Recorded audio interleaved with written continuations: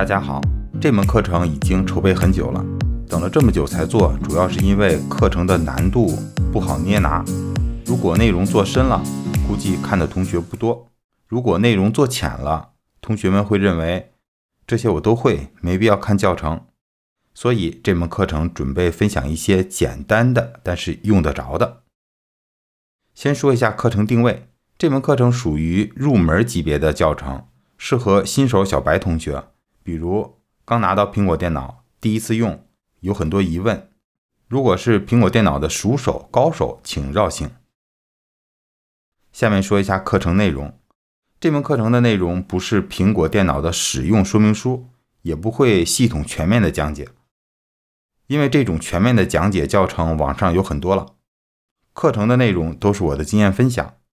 我在第一次用 Mac 电脑的时候，当时是什么样的感受？遇到了什么样的问题，又是怎么解决的？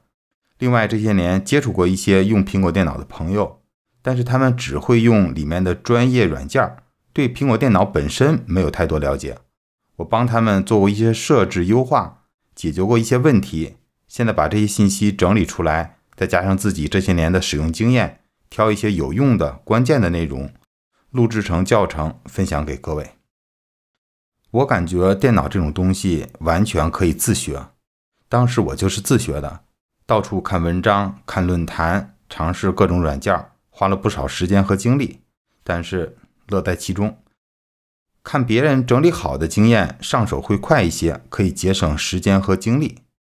所以这门课程我的计划是每节课讲三到五分钟，七到十节课为一组，一组课程如果讲不完，再开第二组。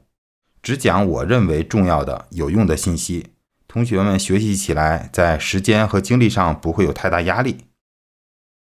先和各位分享一个经验：我的 MacBook Pro 是从苹果官网购买的。当我拿到的时候，苹果的客服和我进行过一次三十分钟的电话培训，他会让我提前准备一些问题，他在电话里帮我解决。其实，不管你的 Mac 电脑是从哪里购买的。就算过了很多年也没关系，遇到问题还是可以给苹果官方售后打电话的，苹果客服会耐心解答，他们的态度都很好。不过客服的技术能力要看运气，一般初学者遇到的问题也都是很好解答的。这几节课程对于 Mac 电脑新手来说是远远不够的，我们还会继续推出更多的教程。大家如果有什么需要或者建议，可以给我们留言或私信。由于个人水平有限，课程不足之处或者遗漏的地方，还请指正。希望这门课对你有帮助。在课程介绍的最后讲个声明：这些课程都是在线视频经验分享，仅供参考。苹果系统经常升级，不同版本会有差异，我们不提供技术支持服务。疑难杂症建议拨打苹果的四零零官方售后电话，我经常打，很受用。课程介绍就到这里，下次见。